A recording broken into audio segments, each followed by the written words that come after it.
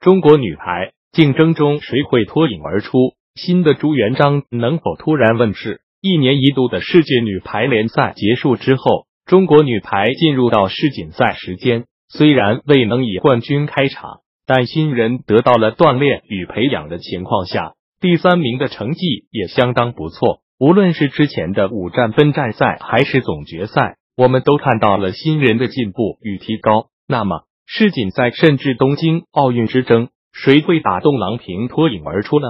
二零一七到二零一八赛季女排联赛当中，十八岁的小将李盈莹一跃成为最耀眼的明星，不但带领天津青年女排夺得全运会冠军，更是以绝对核心的身份带领天津女排站到联赛最高领奖台。其超强的进攻实力，令她以八百零四分笑傲得分榜，并以四十五分打破了朱婷保持的联赛单场得分纪录。来到国家队后，代表国家队的前两场比赛，李盈莹表现不俗。然而，在对阵韩国的比赛中，发挥欠佳，仅得五分。澳门站的比赛，李盈莹未获重用，其低迷的表现更是被郎导罕见的批评。最后一战，德国斯图加特。李盈莹发挥抢眼，打出了自己的真实实力。女排总决赛上，朱婷成为了各队追发的目标与重点照顾的对象。同美国一战第三局，中国队开场落后的情况下，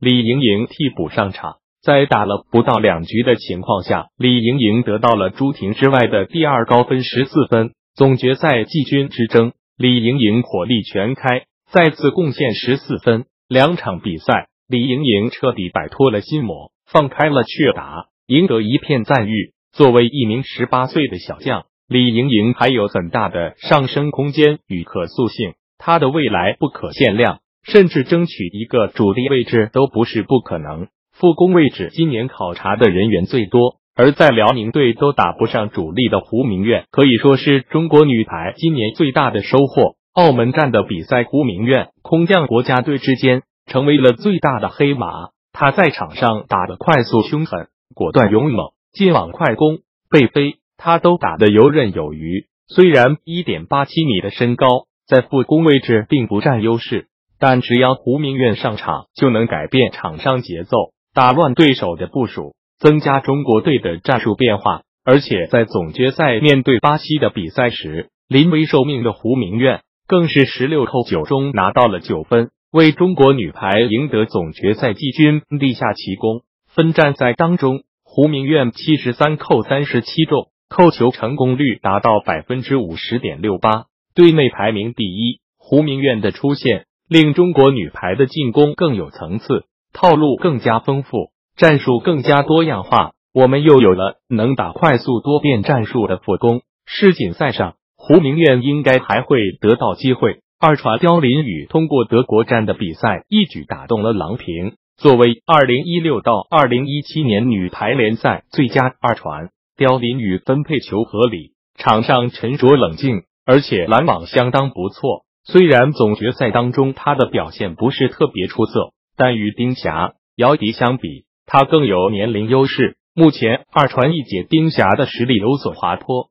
刁林宇应该会的到更多的机会。主攻段放在最后时刻无缘总决赛，但他在分站赛当中所表现出来的状态与出色的打球气质，还是令人印象深刻。世锦赛之前还有亚运会、瑞士女排精英赛与亚洲杯的赛事，段放仍有机会证明自己。除此之外，王媛媛、高毅、杨涵宇以及老新人张艺婵也都有夺得主力位置的可能。东京奥运还有两年的时间。什么情况都有可能发生。女排的竞争激烈，世锦赛的阵容与总决赛相比，可能不会有太大的变化。不过，东京奥运还有一个调整的过程，两年的时间里，说不定又会出现新的朱婷、张常宁、袁心玥或者龚翔宇众多新人们，谁会是下一个空降骑兵与最大黑马？谁又能上演连升三级的奇迹，一举夺得女排主力位置？